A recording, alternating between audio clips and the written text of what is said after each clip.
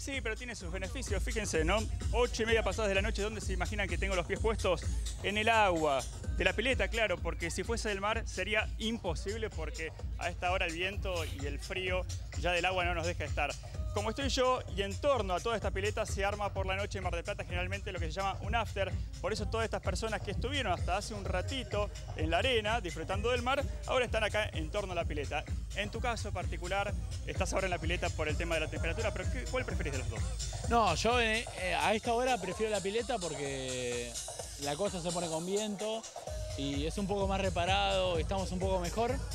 Eh, el after se pone bueno ahora, donde ya un poco el sol va cayendo, entonces no, nos ponemos en, en la pileta. Vienen todos entre amigos, igual trasladaron todo lo que tenían en la playa. Fíjense que trajeron la conservadora, vamos a revisar un poco. Todo vacío, ¿eh? Esto, hielo, lo único que quedó dentro de la conservadora. nada, no o sea que nada. la costumbre de la playa se repite en la pileta. ¿eh? Claro, ¿no? sí, sí, sí, sí. Sí, bueno, vamos a seguir un poquito más. A recorrer un poquito esta fiesta. Mira con quién nos encontramos. Cecilia, conocida como! Caramelito. Mucho gusto. Caramelito. ¿Pileta o agua de mar? ¿Qué preferís?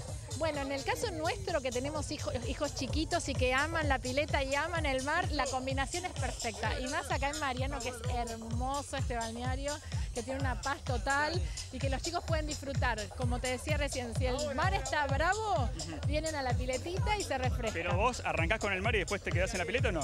Sí, sí, sí, sí. Esa es la combinación, es perfecto, es re lindo.